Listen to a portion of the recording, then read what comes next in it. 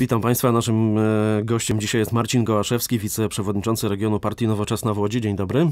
Dzień dobry panu, dzień dobry państwu. Wspólne listy wyborcze opozycji, aby wygrać wybory samorządowe z Prawem i Sprawiedliwością. Takie są propozycje Platformy Obywatelskiej. Co na to Nowoczesna? To propozycja Grzegorza Schetyny złożona w czasie marszu ostatniego w sobotę. Ehm, oczywiście znajdujemy się, pytanie zasadnicze jest takie, w jakiej sytuacji znajduje się teraz Polska, więc znajdujemy się w sytuacji zagrożenia demokratycznego e, ładu w Polsce, a więc konstytucyjnego porządku.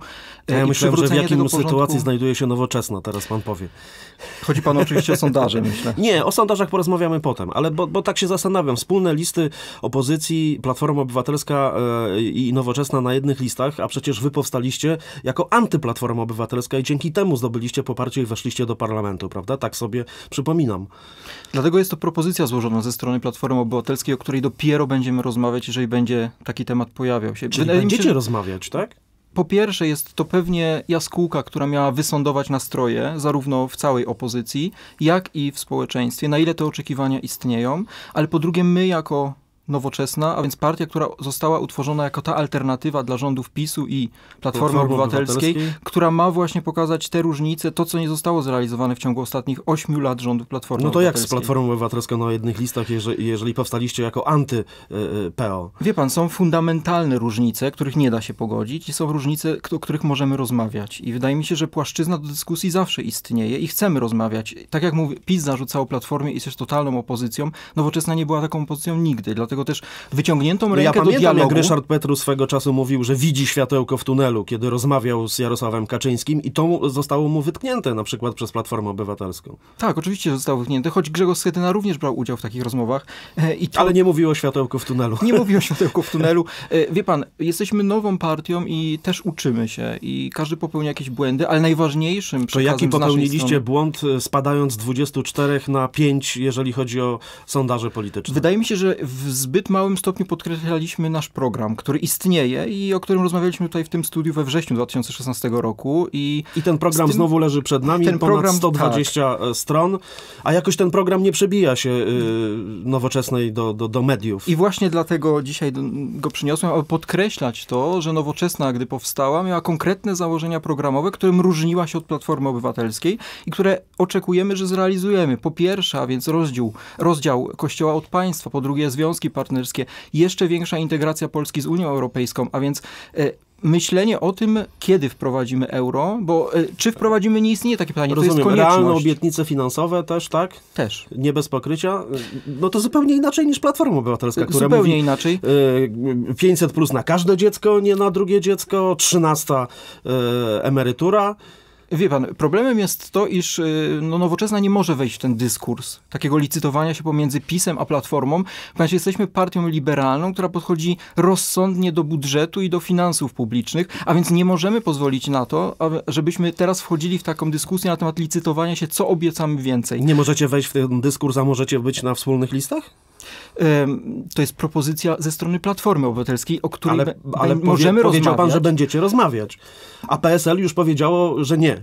Wie pan, Pytanie jest zasadnicze takie. List. E, w sytuacji, w której się teraz znajdujemy, a więc zagrożenia demokracji w Polsce, a więc tej propozycji, która została złożona przez Andrzeja Dudę na temat przyszłorocznego referendum, e, no pojawia się zasadnicze pytanie, że rzeczywiście musimy odsunąć od władzy PiS. I tym takim e, sondażem, taką, takim pierwszym testem sprawności demokracji w Polsce i społeczeństwa obywatelskiego będą wybory samorządowe, które się odbędą w przyszłym roku. Bardzo ciężkie dla nowoczesnej.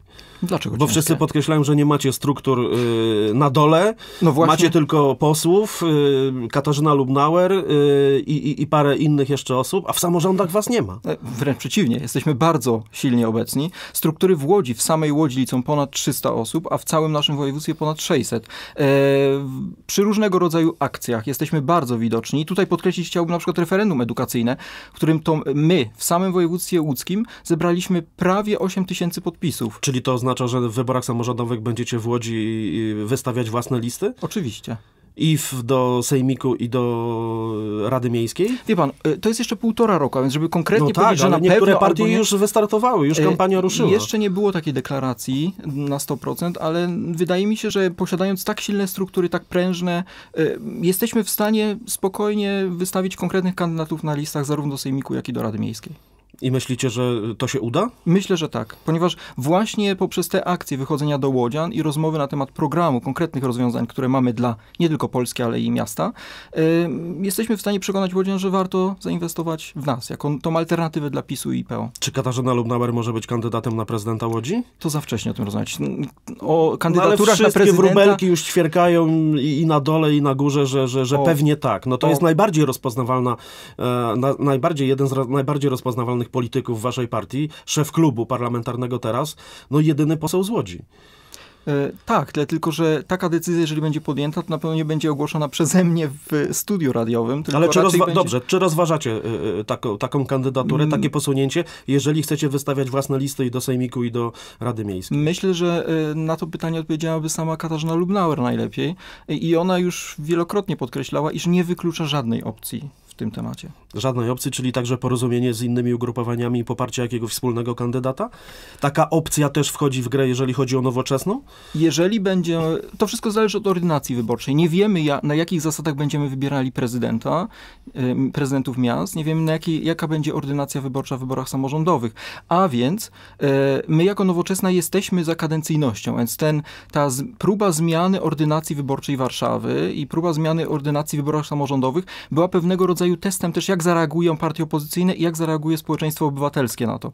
My w sytuacji obecnej, najważniejsze dla nas jest to, iż musimy, nie możemy dopuścić do tego, aby PiS przejęło władzę także nad samorządami, ponieważ są one ostatnim bastionem demokracji w Polsce. Jeżeli padną samorządy, stracimy całkowicie kontrolę nad wszystkimi szczeblami y, władzy państwowej. I no, najważniejszym tutaj jest dla nas to, aby PiS nie przejęło samorządu. Co to znaczy? Co się kryje pod tymi słowami, że na, to jest dla was najważniejsze w wyborach samorządowych? A więc będziemy że... rozważali wszystkie opcje takie, aby to kandydat nie PiSu zwyciężył w wyborach na prezydentów, burmistrzów, wójtów i także, aby stworzyć koalicję w radach miejskich. I to jest jakby logiczne. A więc tego oczekują Polacy, tego oczekują pewnie też Łodzianie.